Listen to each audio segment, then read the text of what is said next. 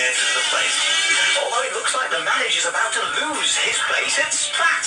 As well as that tomorrow, we start a fantastic season of classic Donald Duck cartoons. Sheer animated brilliance. As well as that, due to stupendous publicity and Zap is back and ready to spring into action.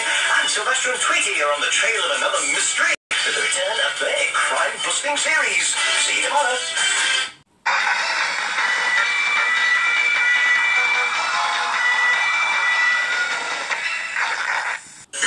This afternoon, the repeat episode of Home and Away, which was shown earlier this afternoon. Hello and welcome to programs for our young viewers at home. In 10 minutes, the gang wonder what it's like being greedy. That's Rainbow at 10 past 12. But first, the story of a beautiful princess and a frog in Topper Castle.